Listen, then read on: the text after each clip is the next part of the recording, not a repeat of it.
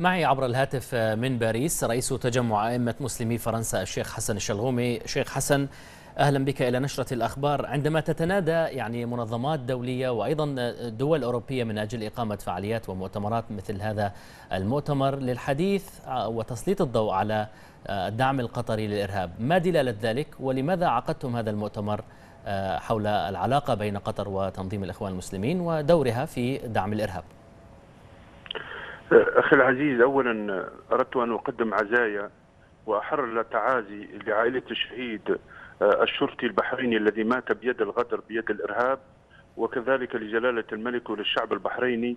هذا الشعب الأبي الشعب الذي يظهر التسامح والتعايش ولكن هذه السيرة أزعج أيدي الغدر من أيدي النظام الإيراني وكذلك السياسة الفاحشة سياسة قطر. نحن نظمنا هذا في جامعة في باريس. لماذا؟ وصل وصلنا إلى درجة أكثر من 7000 شاب أوروبي جندوا 2000 من فرنسا عدد الضحايا أكثر من 240 ماتوا بيد الغدر وبيد الإرهاب. اليوم لما نتكلم عن الإرهاب لماذا لا نتكلم؟ خاصة بالطبقة المثقفة من شخصيات من صحفي من كتاب من جامعيين. نتكلم عن الإنفاق. من وراء ذلك؟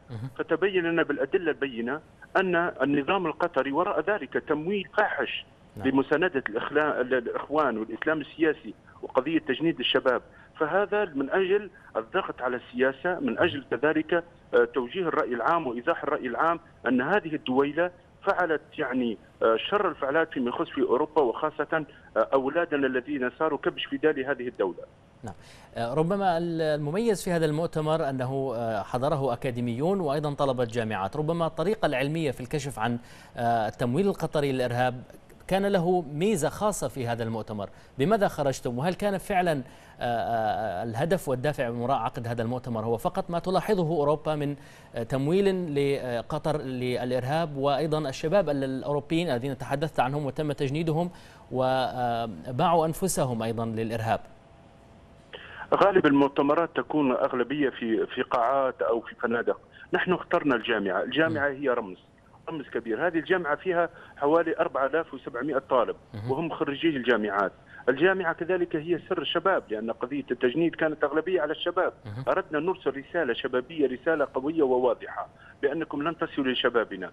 فنوعي أولا شبابنا بهذا الخطر ونوعي كذلك النخبة المنتخبة خاصة أساتذة جامعيين وصحفيين وكتاب ورجال دين من ناحية التوعية. وهذا التأثير إن شاء الله قريبا كذلك ستكون في جامعة السربون بعدها كذلك ستكون في في جامعة Sciences Po. يعني يكون جولة حول الجامعات من أجل أن الطبقة المثقفة والأساتذة يقومون بواجبهم حقيقة فضح هذه الدويلة ثم تبيان حقيقة ذلك حتى لا نخلط بين الإسلام وبين هذه الشرذمة وبين الدولة هذه الدويلة التي هي وراء هذا الخراب. شكرا جزيلا لك من باريس رئيس تجمع أئمة مسلمي فرنسا الشيخ حسن الشغومي.